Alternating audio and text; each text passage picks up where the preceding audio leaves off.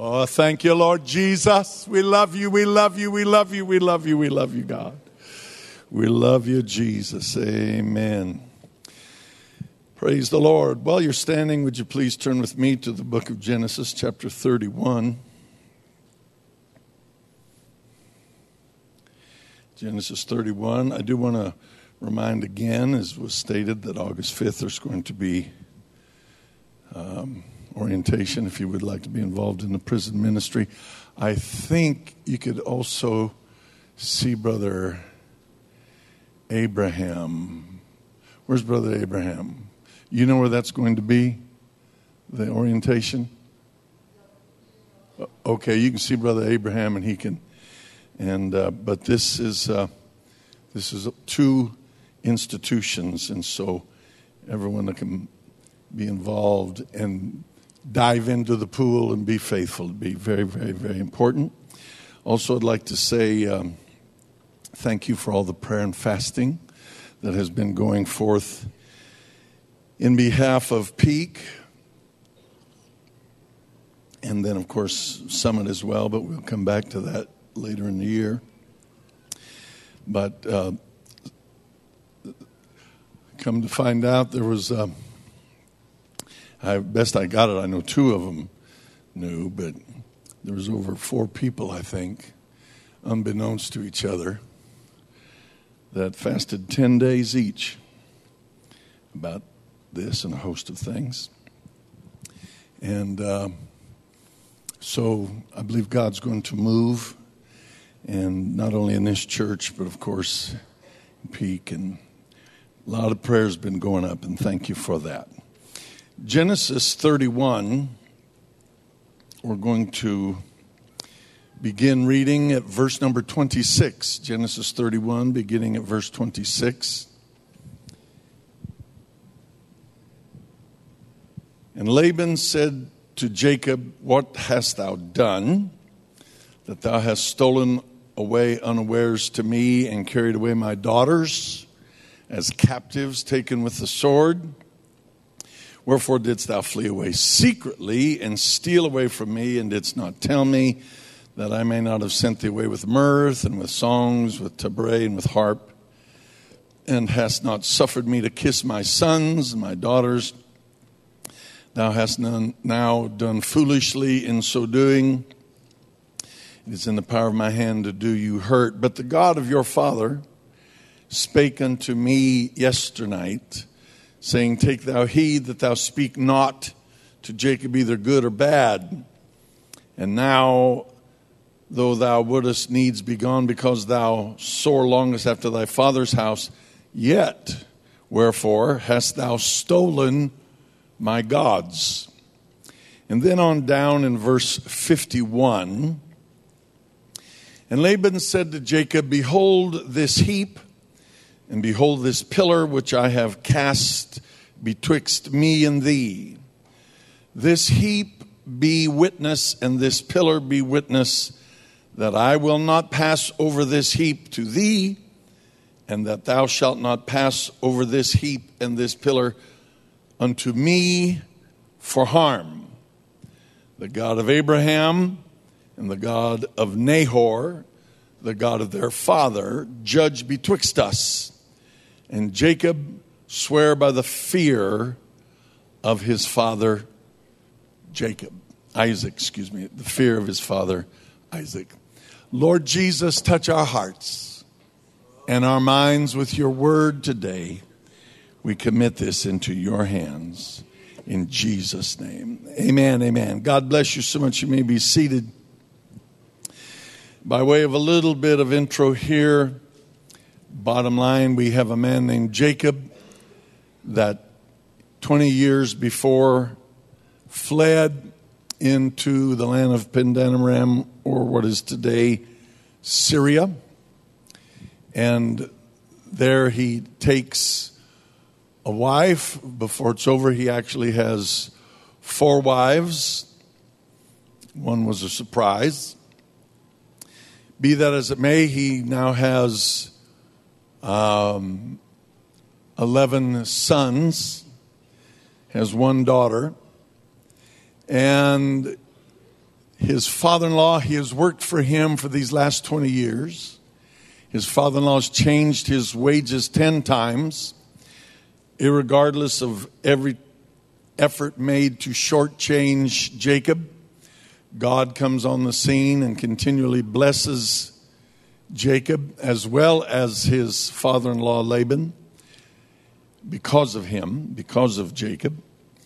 And the last bargain they made, God vastly, overwhelmingly blessed Jacob until his herds were far, far larger and his flocks were far, far larger than were the flocks of his father in law. His brother in laws, his two wives, sister brethren, are not happy. The father's not happy. So Jacob steals away. He takes his herds, his flocks, his children, his wives, and he's making his way back to the land of Canaan. Laban realizes they are gone. He gets his boys, he runs after him. Uh, of course, horses, etc., overtakes them, and apparently he had a little powerful entourage with him. He let Jacob know it's in my power to hurt you, but I'm not going to hurt you because the God of your father spoke to me last night and told me to say neither good nor bad to you. But why did you steal away, steal my daughters, steal my grandsons, not even let us give you a goodbye party? And then he says, Why did you steal my gods?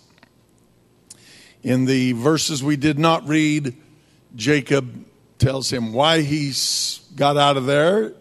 He also told him he changed his wages 10 times, etc.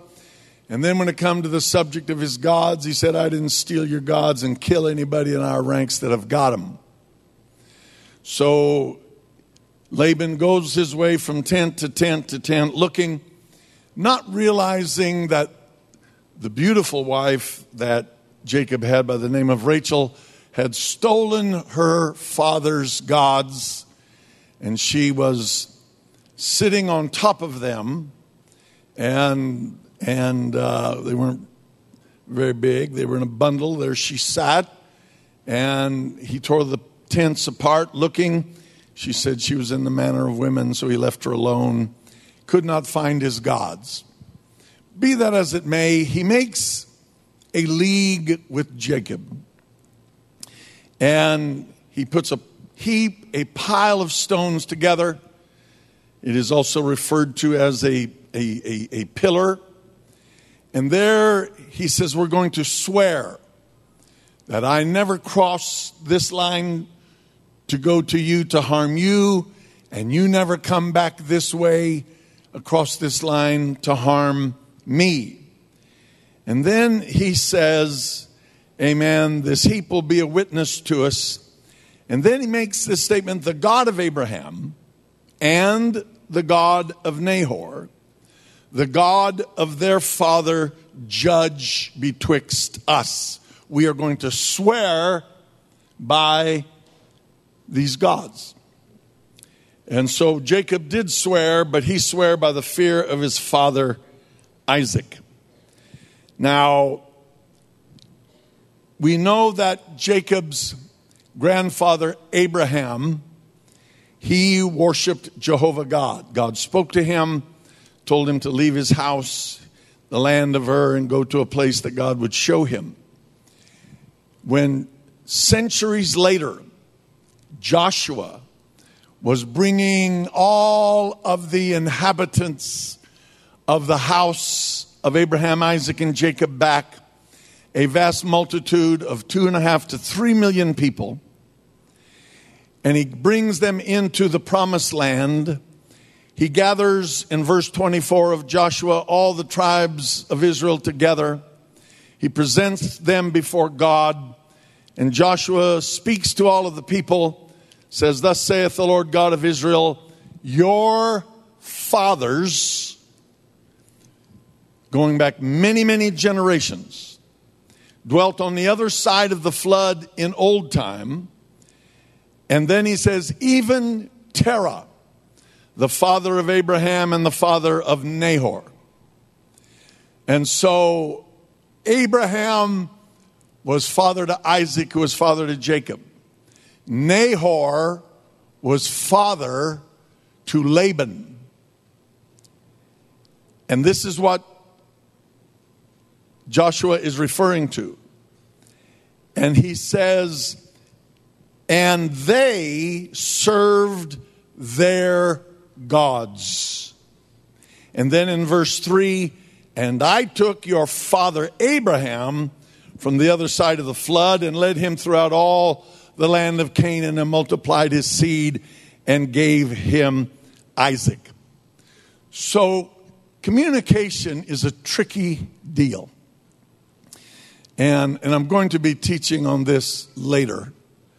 But it's really, really, really tricky. Even as I'm speaking to you right now, my lungs are at work, my body's at work, and I am squeezing air out of my lungs, and it's going up through my vocal cords, and they're vibrating. My brain is working in conjunction, hopefully. And so words are going out of my mouth. There's a lot that comes into that. There's, I'm made up of a, of a unique gene pool, as we all are. I've got a lifetime uh, going on 65 years before long of experience. I've been educated my own certain ways. God's taught me. And so I have all of these cumulative thoughts, and I'm working them up out of my lungs, into my vocal cords, and out to you. Meanwhile, you're out there, and, and these, these, these sound waves are carrying my voice. The microphone, amen, is helping me, but your eardrums are picking them up. And so you got little things vibrating in your ears, and they do that. And so then that starts working in your brain. And, and so you're getting these messages, and then it has to go through your gene pool and your experiences and your vocabulary. And so somehow I have to communicate to you. And that's the reason, however many hundreds of people are here today, I'm not speaking to one, I'm speaking this many messages.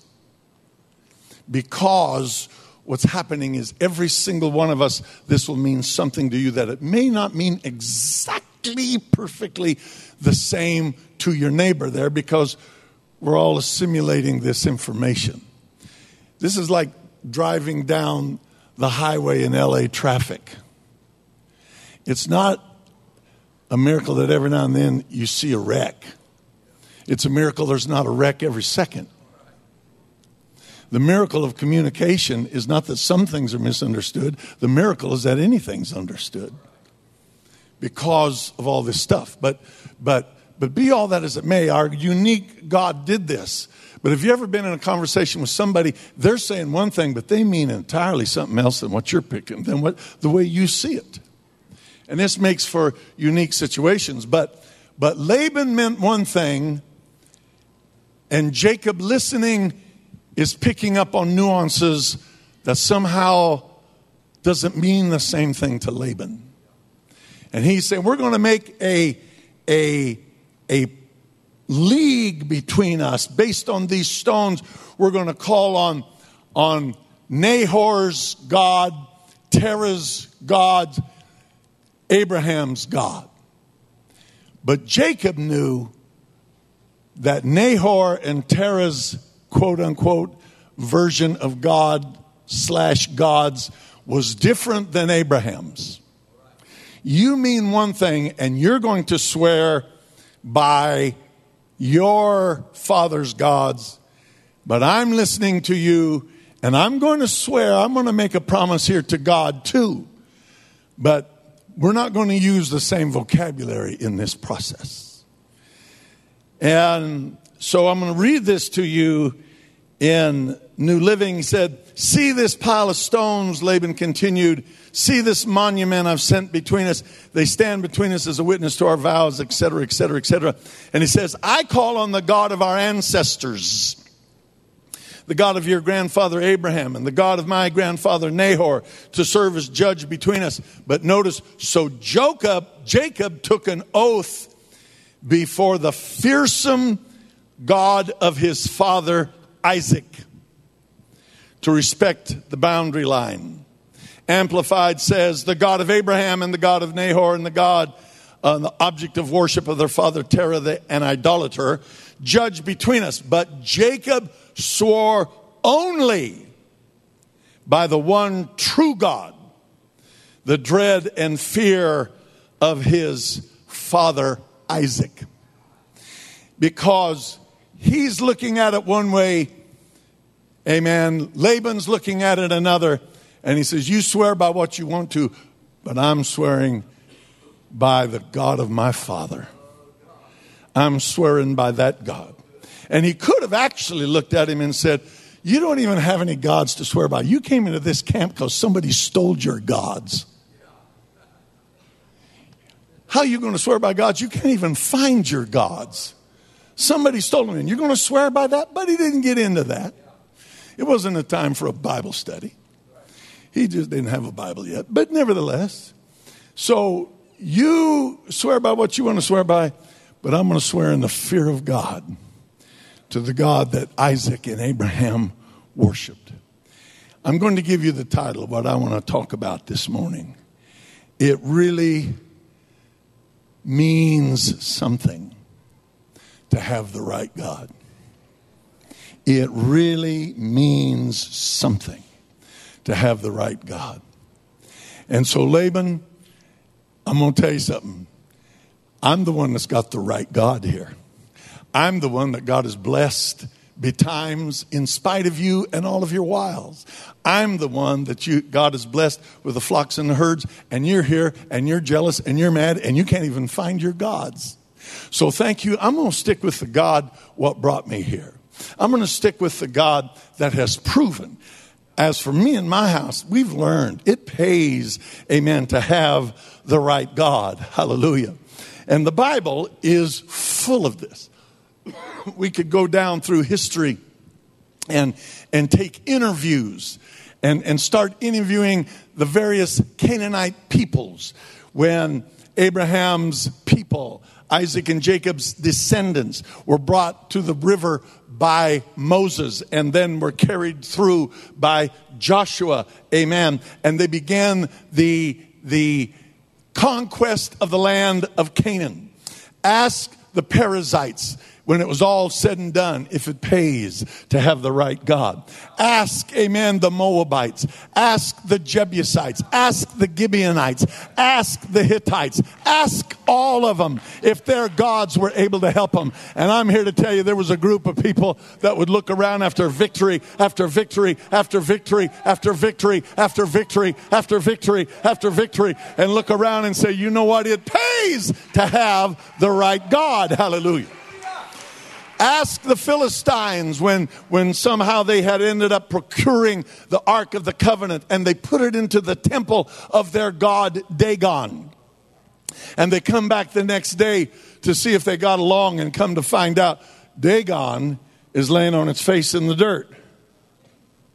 So they pick up their God. That's sad. He couldn't pick himself up. They pick him up and they set him back on his, his little stump there and when they come back the next day, he's not only on his face, his hands are cut off and his feet are cut off. So if they put him back on the stump, he couldn't stand anyway. Now that's a sad God.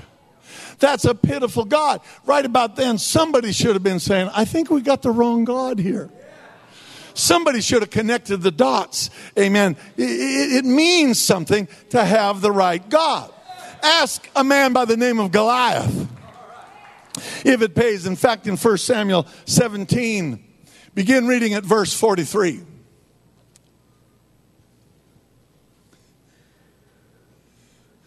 And the Philistines said unto David, So Goliath is looking down in the valley of Elah. There at the bottom is a brook. There, David has taken five smooth stones.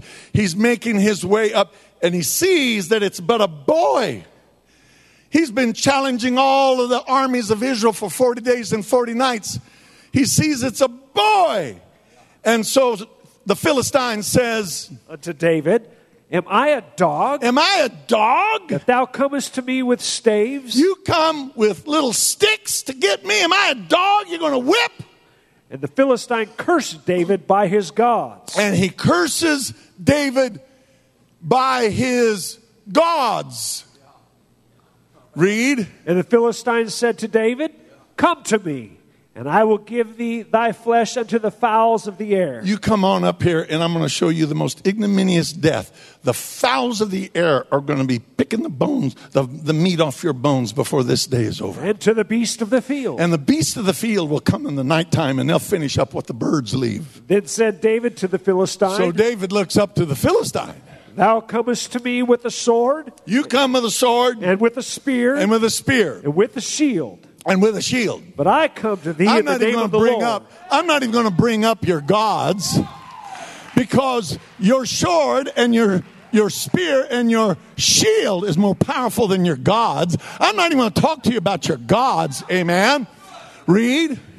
But I come to thee in the name of the Lord of But hosts. I'm going to tell you who I'm. I don't have a sword. I don't have a shield. I don't got any of that. But I tell you, I've got the right God. I've got the right God. It means something to have the right God. If you don't, and we know the end of the story. Amen. In 1 Kings 18, Elijah is so tired of the Baal worship that's gone on. He calls Ahab's 450 prophets of Baal to come up to the top of the Mount Carmel. And he says to all of them in the sight of Israel, Call on the name of your gods, and I will call on the name of the Lord. And the God that answereth by fire, let him be God. And all the people answered and said, It is well spoken. And we know the story. Before it's over, you got 450 prophets of Baal. They have made up their altars. They've put out the, the meat offerings and, and, and, they, and they're calling upon Baal. And, and, and, and so after a while, Elijah says, Call louder. He can't hear you. Baal, Baal, call louder. Baal, Baal. After a while, the sun's going higher and higher. It's in the afternoon. They jump up on the altars. They're jumping around screaming.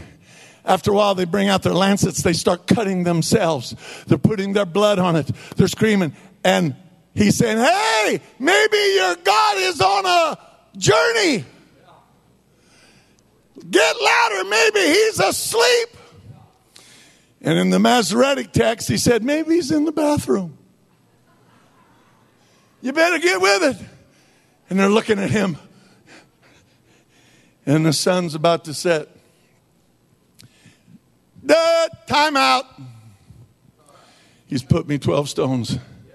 Put the bullocks. Get 12 barrels of water. Douse it. This is in the middle of a drought. Douse it. Get more, 12 more barrels. Douse it again. I want 12 more barrels. Douse it again. He's dug a trench. Amen. A ditch round about it. The ditches are full of water. Everything is sopped. And then he utters a 64, some say 65 word prayer. And all of a sudden, fire from heaven.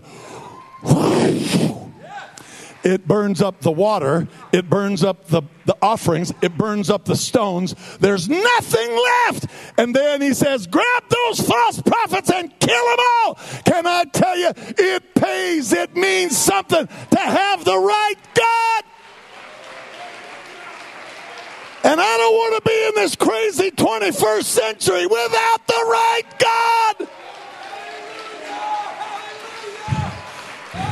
And this God we're talking about is the same yesterday, today, and forever.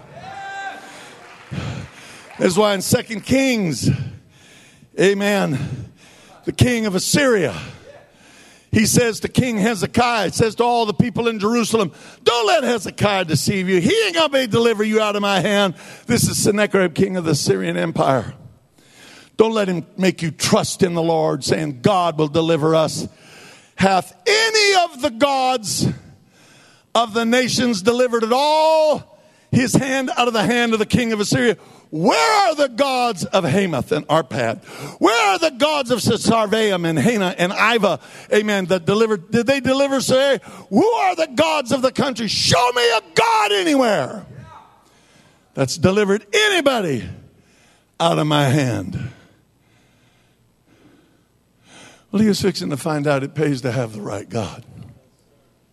Because the morning he arose, his 185,000 man army, even secular historians will tell you this moment changed the course of history. And it's, it's a sound reveille. Where's that trumpeter? Goes to his tent. Get! He kicks him. What's wrong with you? His eyes are rolled up in his head.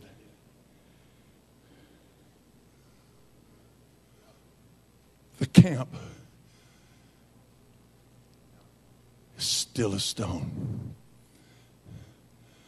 There's not even birds chirping. He goes from one tent to the next. They never even got out of their knapsacks. His 185,000 man army is graveyard dead. And as a footnote as to whether it pays to have the right God, when he goes home, he makes his way back to Nineveh and he goes to worship Nisroch, his God, in his temple. And while he's in there with his God, worshiping it, he's got two boys that hate him and kill him. And his closing thoughts as he left this terra firma, slipping into eternity, might have been I wish I'd have had the right God because it didn't do him any good. If you don't believe that, ask Egypt when the children of Israel are marching out. Amen. And all of their firstborn are dead. Ask Egypt when the river Nile that they worshiped was turned into blood as a god. Ask Egypt that worshiped cattle as gods. Amen. When they're all hit with a murrain. Ask they worshiped the sun when the sun was darkened, amen, to where it was so dark that they couldn't see in their dwellings. Ask every single plague that God brought upon them directly was an affront to one of the multiple gods of Egypt, amen. Ask Egypt as they essay to go through the wide open Red Sea, amen and the sea comes collapsing in on them. Can I tell you something? Pharaoh would be happy to tell you right now it means something to have the right God. Hallelujah. It pays to have the right God. If you don't believe it, amen, ask Meshach, Shadrach, and Abednego. In Daniel chapter 3, begin reading in verse 28. Then Nebuchadnezzar spake and said, Now here's the picture Nebuchadnezzar has set up a huge solid gold idol. Huge. On the plains of Shinar, he says, when you hear the sound of the music, and he names all of the instruments, everybody in this kingdom is falling on their face to my God. And whoever does not fall on their face to my God, I have a furnace here that is heated, and you will be fried chicken for dinner. Well, he wasn't going to eat them, but he was going to burn them up. So he looks out. Everybody's bowing.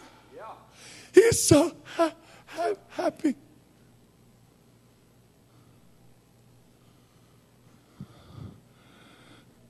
Hey, get up. Yes, sir. Who's those guys out there standing? Well, that's your three Hebrew boys you like so much. That's Meshach, Shadrach, and Abednego. Why aren't they bowing? I'd be happy to go get him. You can ask him. So read. Blessed be the God of Shadrach. Oh, okay. Hold on. So he gets him. He says, Bow or burn. They said, We're not careful. We may burn. He may not deliver us. But we can promise you this we ain't bowing.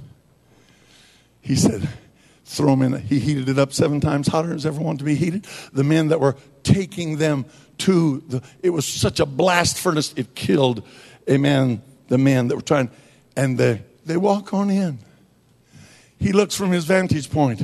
He doesn't see three men burning, he sees three men walking around. He sees another man in the midst of the fire. They come out, they don't even smell of smoke. Everybody, now I'm just, I don't know this, but wouldn't it be something if everybody's still on their face and every now and then they peek up?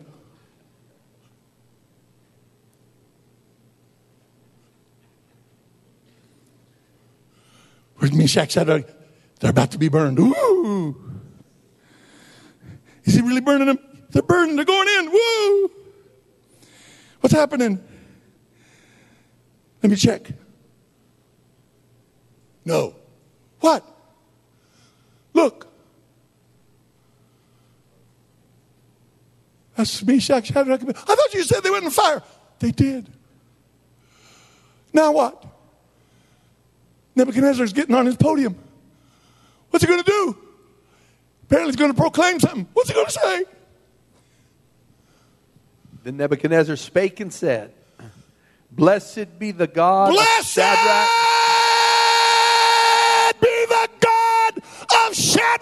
Meshach, and Abednego, Meshach, and Abednego, who has sent his angel who sent his angel, and delivered his servants that trusted in him delivered his servants that trusted in him, and have changed the king's word and they changed the king's word. and yielded their bodies They yielded their bodies. that they might not serve nor worship any God except their own God. There ain't no worship of any God but their God. Therefore, I make a Therefore, I make a decree that every people, nation, and language every people, nation, and language which speak anything amiss against that the God speaks anything amiss against the God of Shadrach, Meshach, and Abednego shall be cut in pieces, and their houses shall be made a dunghill, I'll make your house a dung. I'll cut you in pieces. Say one word against their God. because there is no other God that can deliver after this sort.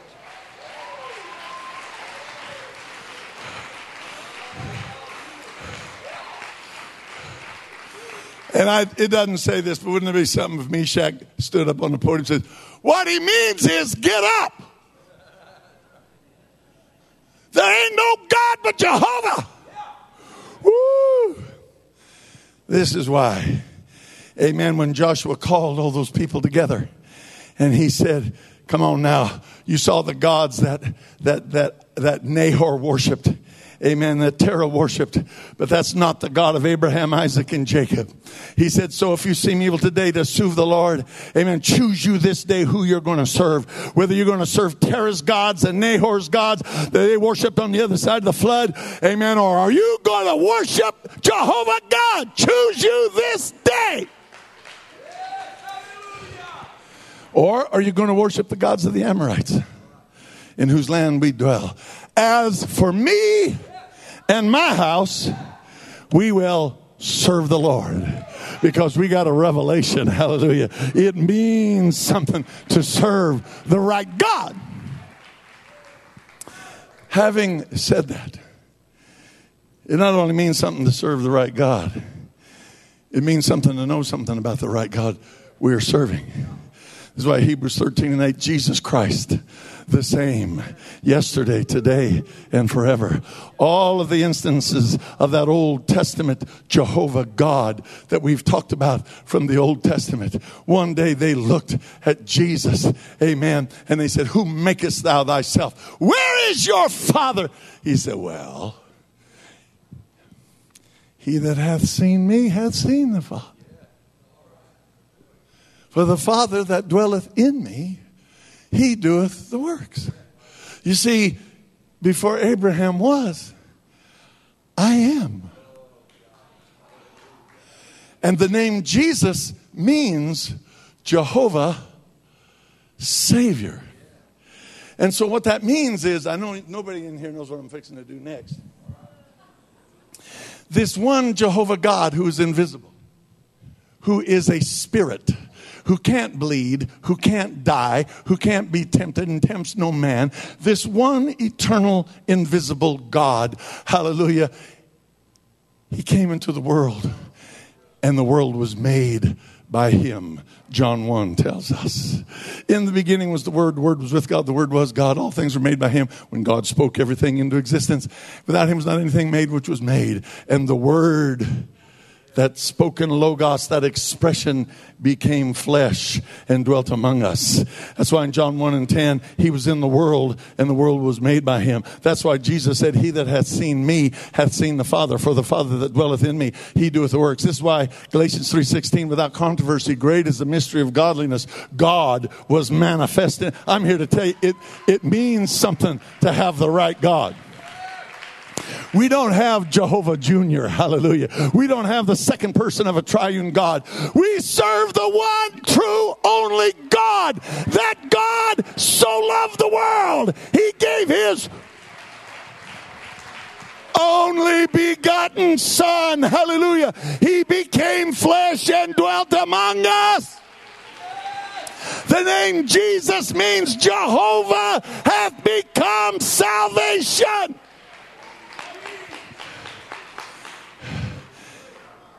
And what does it mean? Does it pay to serve that God? Does it mean something to love that God? Hallelujah. To know who He is, to take on His name in baptism. I remember one time, and I, I, I moved through this quick because I gave it just a while back, but we were in Israel. A guy was wanting to debate me. He kept bringing it up about he didn't believe that baptism should be done in Jesus' name because Jesus is the name of the Father and of the Son and of the Holy Ghost.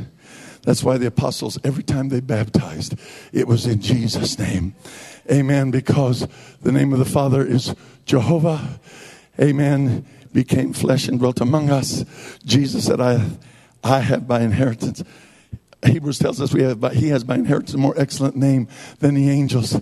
He said, I've come in my Father's name, Jehovah Savior. And so the name of the Father was Jesus, the name of the Son was Jesus, and the Holy Ghost in you is Christ, in you the hope of glory. It's Jesus everywhere. That is the name of the Father, Son. Father's a title, Son's a title, Holy Ghost is a title. The name is Jesus. I'm a father, I'm a son, I'm a husband. My name is Larry Booker. I'm also a uncle, I'm also a friend, I'm also a bishop, I'm also a preacher, I'm also I've got all kinds of titles, but my name is Larry Booker. He has all kinds of titles, but his name is Jesus. It's the only name under heaven given among men whereby we must be saved. Acts 4 11. 12. What does it mean? Amen. And so this guy kept, uh, and I said, I, I found he was a denominational guy. I said, Have you ever cast out devils? He said, Yes. I said, How did you cast them out? I cast them out. What name did you use? Jesus' name.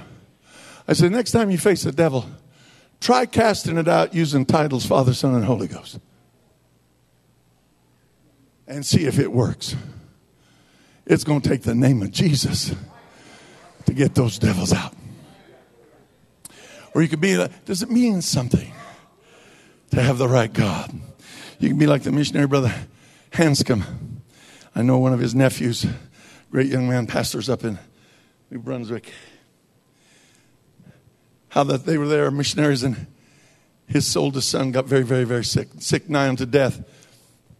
Doctors, nobody could help them. They were praying, they were calling on God. These are this many decades ago, they couldn't get communications out. They were praying, God, please lay us on somebody's heart. And there was, there was a couple.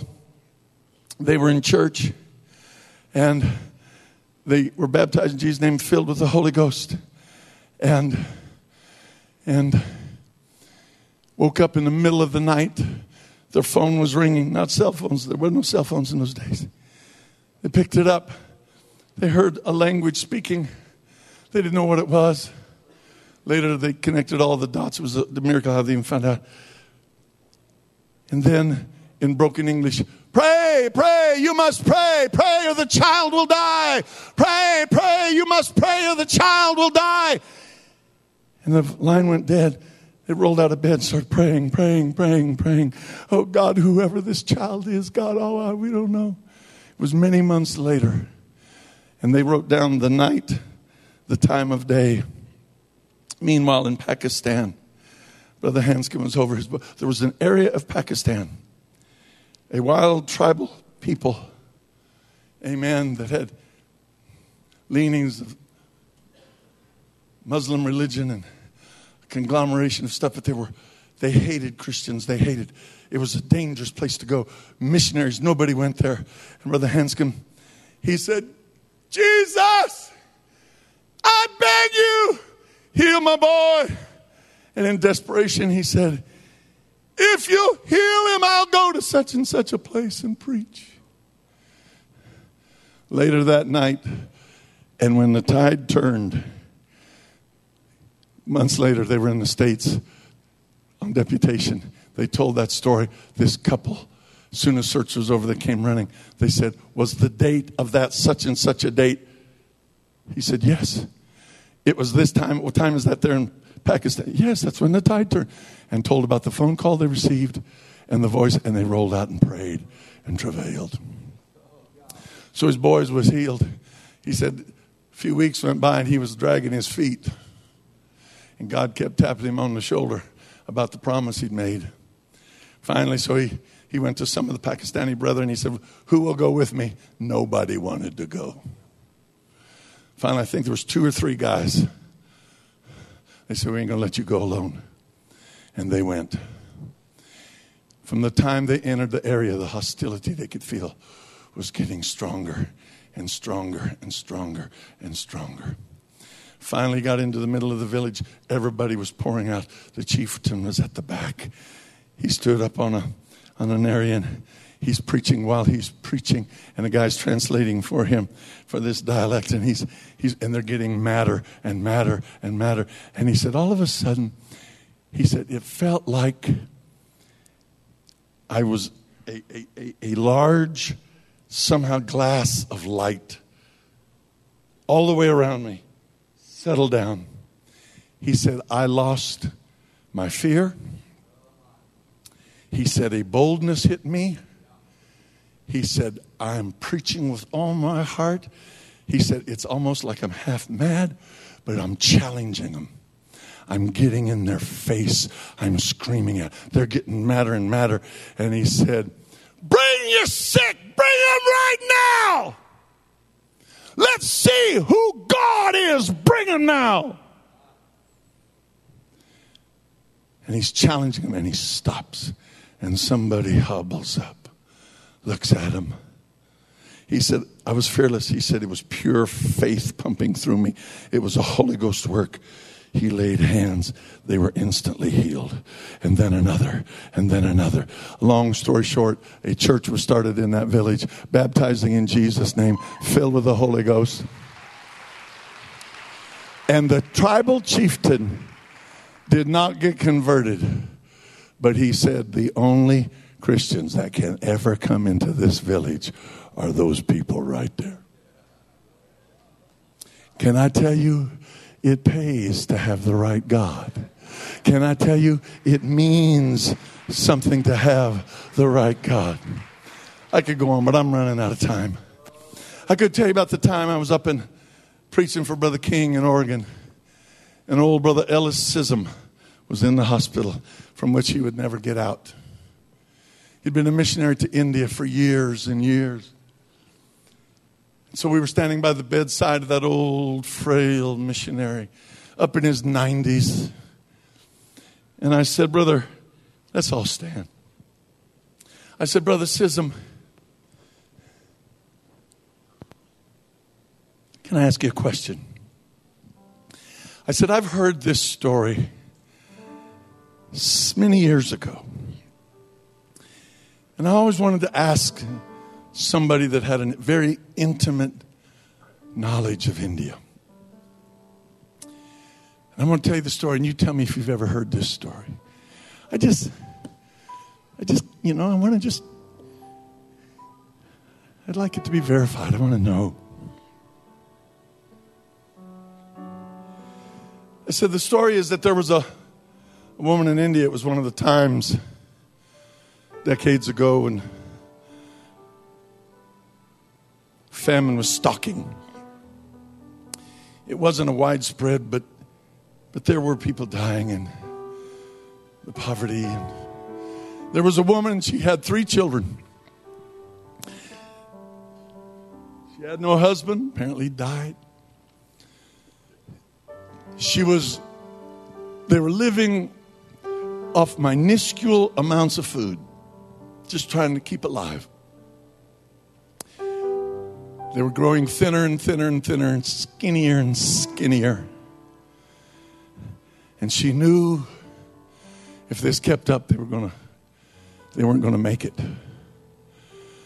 So she went into one of the Hindu temples, of which they have 33 million gods. Some say 36. She stood in the middle of the one of those temples. My children are dying, and I will die with them. If you feed my children, I'll serve you.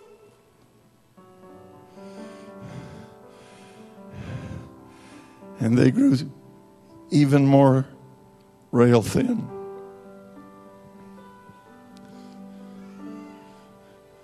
She went to a certain place. She was told it would work. She cried out to Allah, the Muslim God. My children are dying, and I will die with them. Feed my children, and I'll live for you. And they were growing weaker and weaker. She had just enough tiny bit of meal to make the three little cakes for the kids, into which she had placed a deadly poison rather than them die the hideousness of slow starvation. She was going to take their lives at least with one last morsel in her mouth, and then she was going to eat the poison and die, holding her children. And as she was about to place the morsel in her oldest child's mouth, she heard a voice say, Stop. Try me. She pulled back. I am Jesus, the God of the Christians. And I heard Brother Ellis that she made her way and found some Christians.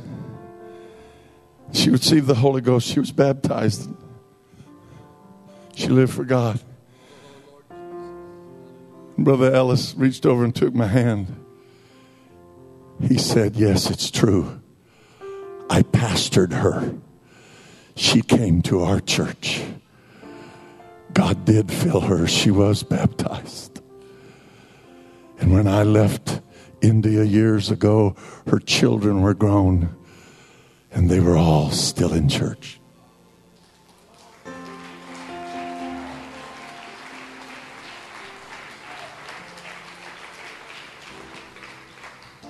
We're in 2017.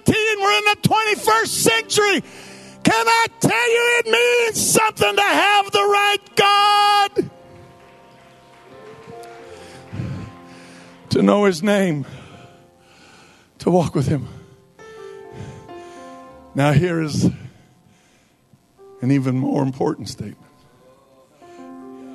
it means something to have the right God. Oh, it means something for that right God to have you. Does He have you? Does He have us? Hallelujah. Have, have, come on now. Have you received Him into your heart? Have you received the baptism of the Spirit of God? Are you walking with Him? Can I tell you? Come on now, we're in the 21st century. I'm here to tell you wrath is not the right God, bitterness is not the right God, lust and immorality, covetous, jealousy, envy. None of that's the right God. Jesus is the right Anybody want to draw closer to that right God? Anybody want to come down and thank that right God that He spoke to your heart somewhere, someplace down the road? Is there anybody under the sound of my voice? Sir, ma'am, you've wandered around alone long enough. Come on, it means something to have the right God. He loves you, sir. He loves you, ma'am. He cares about you. Come on, come on, come on. Let God help you today. You're in the house of the right God.